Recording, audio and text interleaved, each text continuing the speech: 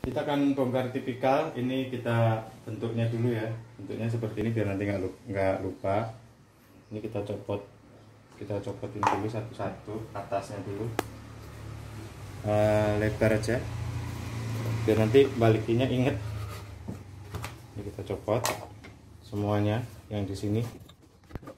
Ya.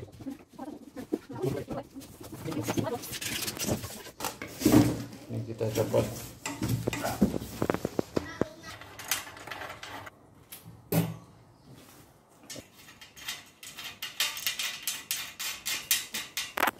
ini nanti diinget-inget ya. Satu dua ini bisa dicopot ini juga copot. Semuanya akan kita lepas. Hubungannya kita lepas.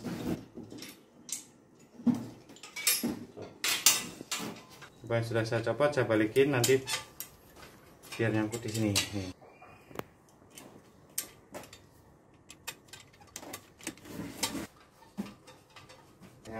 Dan teman-temannya ini satu aja terusin satu mungkin.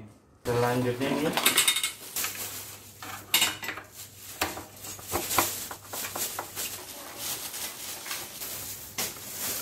ini namanya talang benang.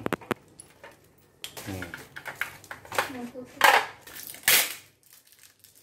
Kalahkan di sini ini biar nggak hilang.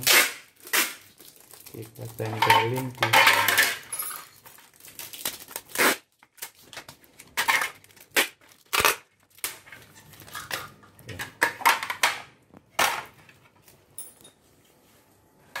berikutnya kita copot ini.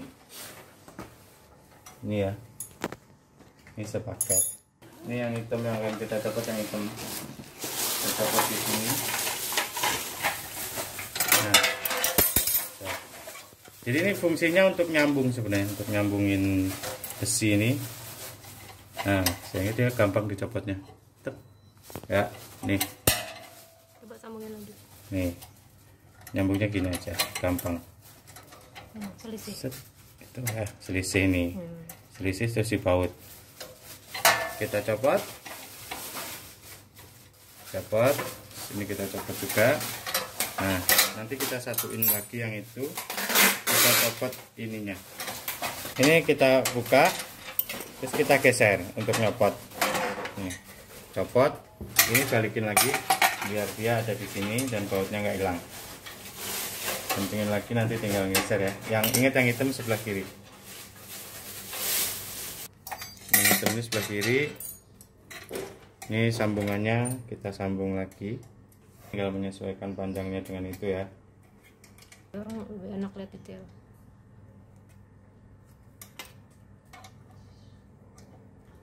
Ya. kita nyatu ini satu selanjutnya ini. Ini sepaket sama ini nanti ya biar nggak hilang. Ini kita copot di atas ini. Ini ini sebenarnya untuk pijakan mesin yang kawat apa yang rantai ini. Kita copot di sini. Copot.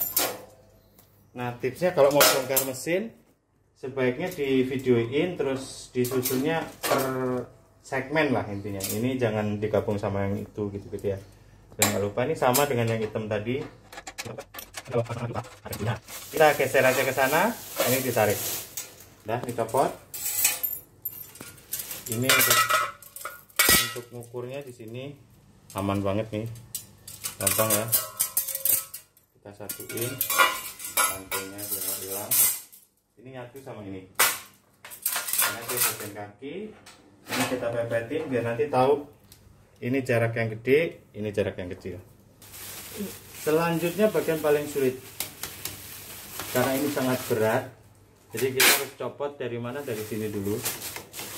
Ini ya karena ini kan kabel power terus dia masuk ke sini. Powernya ke sini. Kalau ini cuma muter doang di sini itu nggak ada mesin. Mesinnya di sini biasanya ini. cara nyopotnya dari sini dulu. Atau kita lepas ini ya, kalau yang aman ya. Kita pisahkan dulu yang atas dan yang bawah kita putar dikit. Lepas deh.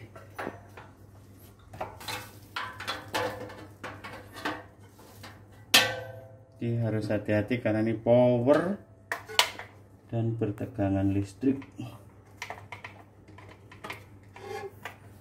Lepas.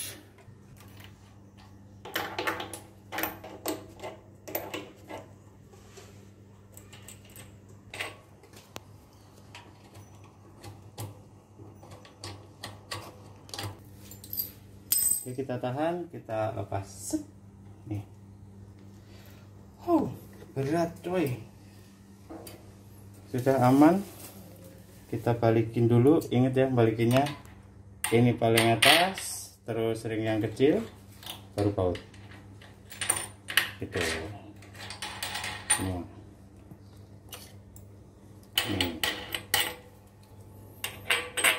Sudah cukup ini ternyata tidak dibaut. Ini cuma diangkat gini doang. Hmm. ini kanan. Ini nanti kalau masang banyaknya ini di sini ya. Yang tidak ada besinya sebelah kanan. Tinggal gampang taruh angkat.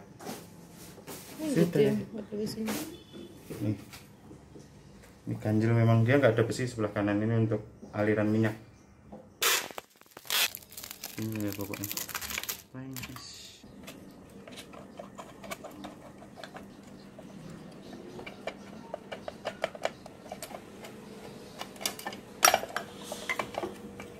ini ya. Nih eh copot. Hmm. biar enggak hilang dan tidak lupa kita satukan. Mereka masih satu sudah. Kita robohkan untuk mencopot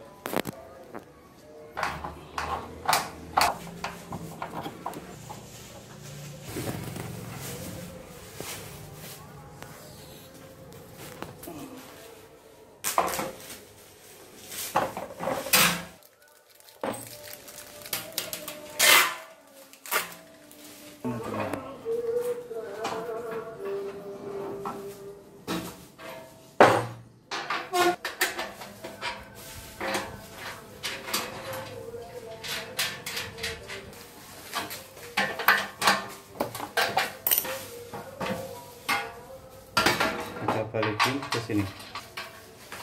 Banyak. Oke.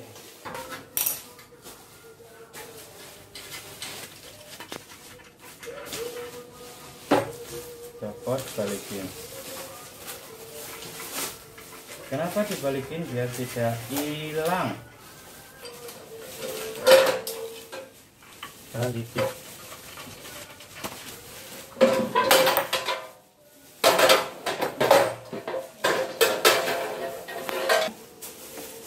selesai sudah bongkarnya. Tinggal nanti masanya kalau bingung lihat video tadi tinggal di replay replay oh ini sebelah sini sebelah sini sebelah sini. Begitulah. Terima kasih dari saya. Kusyo